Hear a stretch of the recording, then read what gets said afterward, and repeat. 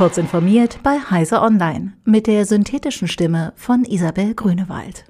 Der Bundesdatenschutzbeauftragte Ulrich Kelber äußert ernste Bedenken gegen das vierte Bürokratieentlastungsgesetz. Konkret kritisiert er die Pläne der Bundesregierung, privaten Unternehmen Zugang zu den auf dem Reisepass gespeicherten Daten zu gewähren. Laut Kelber würde dies private Stellen erstmals dazu ermächtigen, auf amtlichen Pässen abgelegte, hoheitlich angefertigte biometrische Lichtbilder auszulesen. Er warnt vor massiven Missbrauchsrisiken, die in keinem Verhältnis zur angestrebten Verbesserung des individuellen Reiseerlebnisses stünden. Technische Schutzmaßnahmen könnten diese Grundgefahr nicht ausräumen.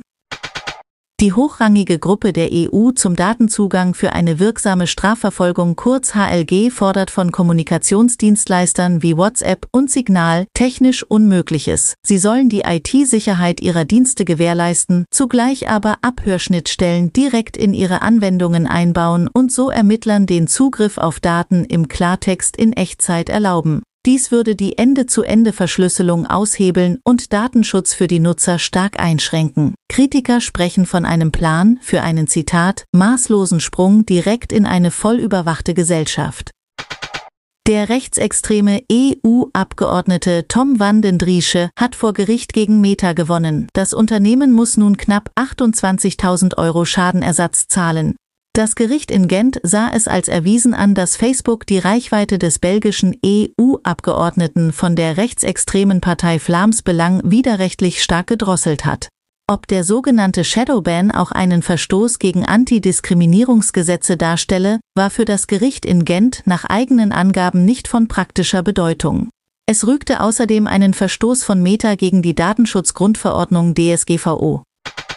Der Boeing Starliner hat mit seinem ersten bemannten Flug die internationale Raumstation ISS erreicht. Ursprünglich war die Ankunft für 18.15 Uhr geplant. Das Andockmanöver musste allerdings verschoben werden. Grund waren Probleme mit Triebwerken. Vier der 28 Reaction Control Thruster funktionierten nicht richtig. Beim zweiten Anlauf klappte es dann. Der Computer manövrierte das Raumschiff Starliner CST-100 selbstständig. Die beiden Astronauten an Bord mussten nicht eingreifen. Um 21.47 Uhr mitteleuropäischer Zeit war es dann soweit.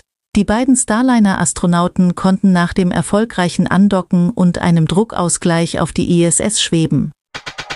Diese und weitere aktuelle Nachrichten finden Sie ausführlich auf heise.de.